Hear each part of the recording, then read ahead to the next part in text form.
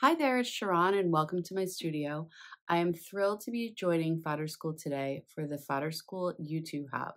This is for Fodder School 2, and what we'll be doing today is showing you some of the projects that we created during Fodder School 2. So I'll be joining a bunch of other artists. They'll be linked below, so I sure hope you'll check them out as well. And showing you these projects. I'll also be showing you some of the projects that I created for the Fodder School 2023 challenge. And what this challenge was, was a challenge right before Fodder School 3 started. And it was a free challenge that lasted for a little bit. And now it's included as part of Fodder School 3. So if you purchase Fodder School 3, those lessons um, from the challenge will be included if you know me, you know I'm primarily a card maker. Um, I love to use mixed media in my card projects to give it like a little something extra.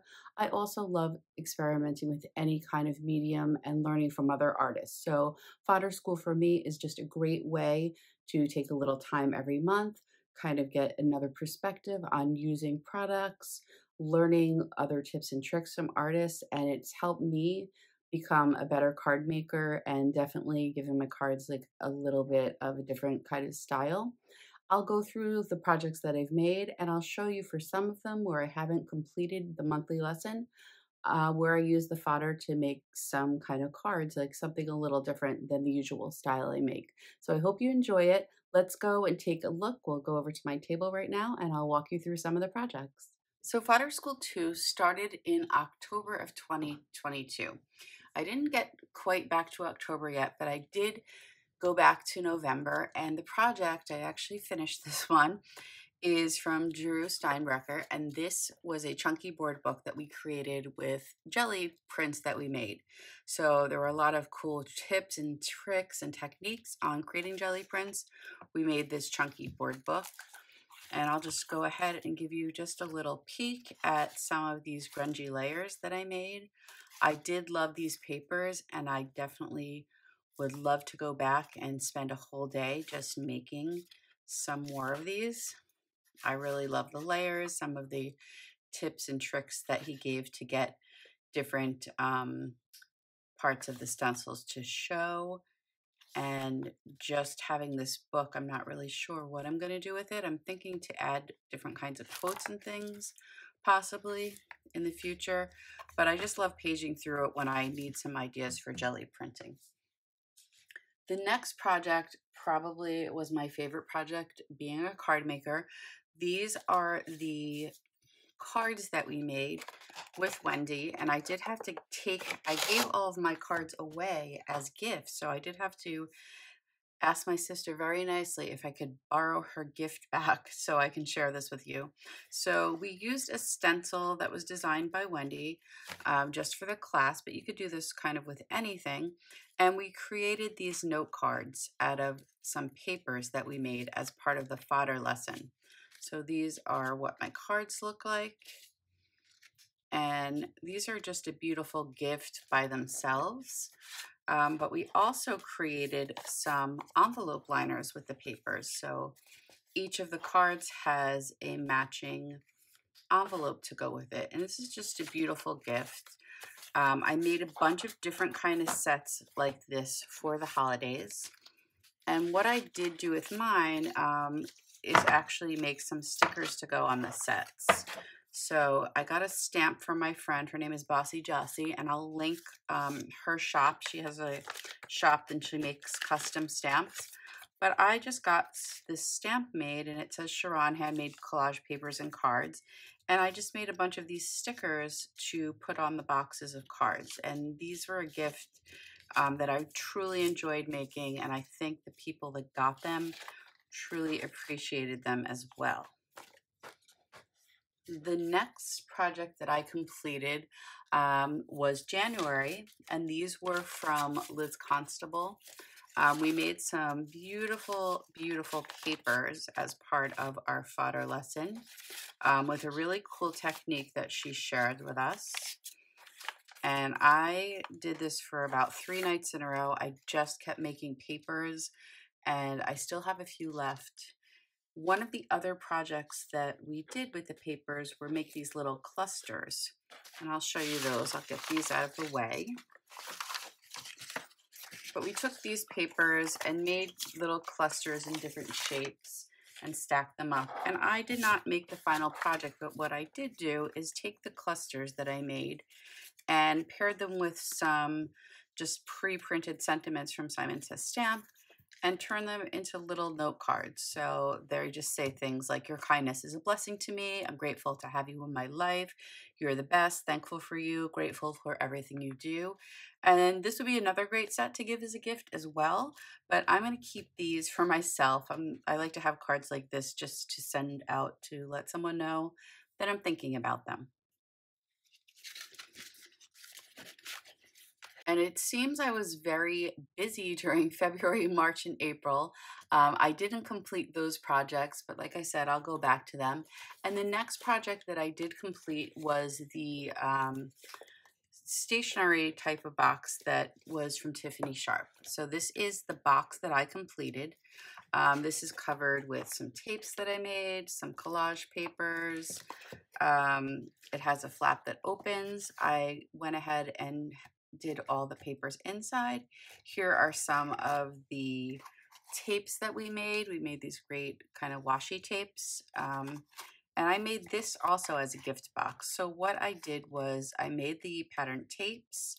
I turned my um, my cards into just little note cards. So these are just little note cards that open. They're blank inside with envelopes. And then I put together some sentiments. So these are uh, stencils from Megan Quinlan. And what I did was just make little sentiment type of um, strips and I put foam tape on the back. So this would be a great set to give to someone. They can go ahead and um, add whatever sentiment they want to use, send them out as needed. Here's another one, listen to your dreams. Um, but they're all different designs in here and it was just a great way to use the collage and i love that i'm able to send little bits of my own art out there into the world so this project was really a pleasure for me to create so everything fits really nicely in the box. Um, it's perfect for a gift or just something to keep like special cards and um, tapes that you want to have on hand to send things out for on your own. The next project um, that I did, I just made the fodder. This is from the lesson from Karen Elaine, and I only made part of the fodder. I really wanted to try out the shibori paper, and I definitely want to go back and finish the lessons. Uh, but these are what my papers look like, and I'm not really sure what I'm going to do with these. I think the final lesson is a book, and I definitely want to push myself and challenge myself this year to try actually making all the projects, but I would love to use some of these papers um, in collage and on cards as well. So we'll see where these go, and I'm sure I'll be sharing some project with those in the future.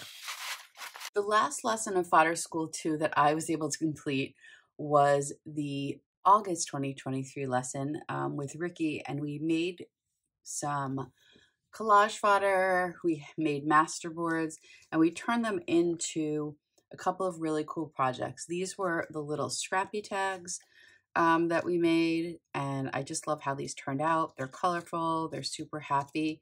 I've just kind of been sticking them in like packages that I send to friends or into cards maybe. They can use it for somebody suggested a bookmark, which I thought would be a great idea as well.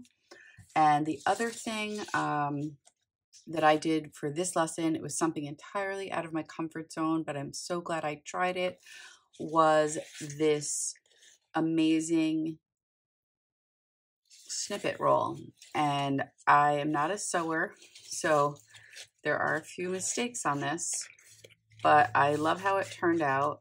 I'm not sure what I am going to do with it yet. I might even just hang it up somewhere in my studio. Um, because it makes me so happy to look at. So those are all of the projects that I created for Fodder School 2. So now here are the projects that I created for the Fodder School 2023 Challenge. The first one was this pile, and you can see I used a lot of these and I still have a ton left. This was the challenge lesson from Tiffany Sharp, and these are her watercolor tropical leaves. So I got some great tips and tricks. It was so fun to play with my watercolors on these. And you'll see I actually did incorporate these into a finish, another Fodder School 2023 challenge project.